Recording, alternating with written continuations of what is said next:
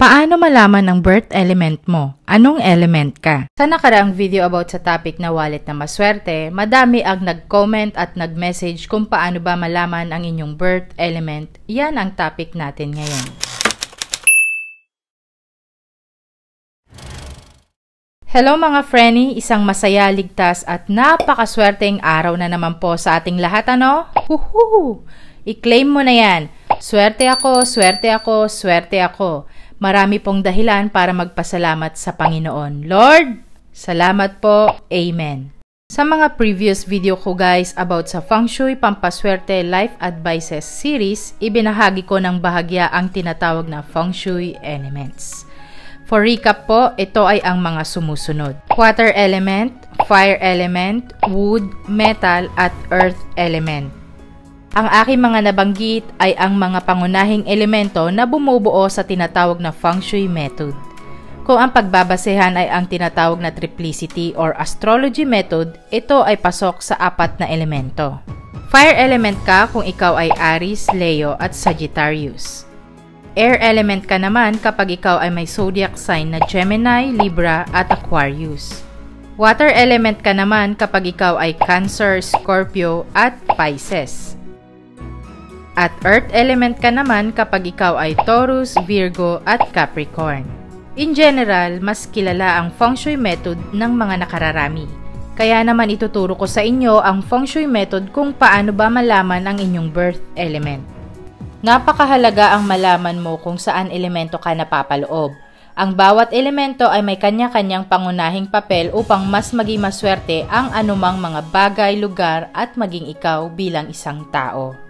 Disclaimer Tandaan, ito ay gabay lamang. Anumang paniniwala o relihiyon ang meron ka, ang mahalaga ang pagrespeto sa bawat pananaw ng bawat tao.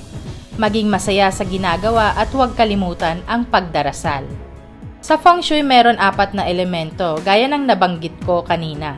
Ito ay ang wood, fire, water, earth at metal element. Tandaan, dapat balanse ang lahat ng elemento upang mas maging kaakit-akit ang swerte at positive energy sa'yo. Madali lang malaman kung paano mo i-calculate ang iyong kaarawan sa iyong elemento. Halimbawa, kung ikaw ay November 22, 1966, ikaw ay fire element. Kung ikaw naman ay December 1, 1979, ikaw ay earth element. Eh Madam Rian, paano po ba i-calculate? Ganito kasi yan. Ang huling numero ng taon ng iyong kapanganakan ang siyang magsisilbing gabay para sa iyong elemento kung saan ka napapaloob. Hindi mo pa din bagets? Halimbawa, ikaw ay pinanganak noong February 5, 2000. Huwag mong gagalawin ang month at date ng iyong kaarawan. Mag-focus ka sa 2000. Ang last digit ay 0, which is metal element. Narito naman ang kabuoang gabay para sa inyo. Metal element kapag ang last digit ng taon ng kapanganakan ay ending na 0 at 1. Halimbawa, 2000 at 1991. Water element ka naman kapag ang birth year mo ay ending ng 2 or 3. Halimbawa, 1982 at 2003.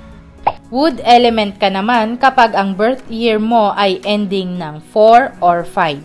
Halimbawa, 1974 or 1965. Fire element ka naman kapag ang ending ng taon ng iyong kapanganakan ay 6 or 7. Halimbawa, 1986 or 1997. At earth element ka naman kapag ang ending ng taon ng iyong kapanganakan ay number 8 or number 9. Halimbawa, 1988 or 1968. Salamat sa panonood hanggang sa muli.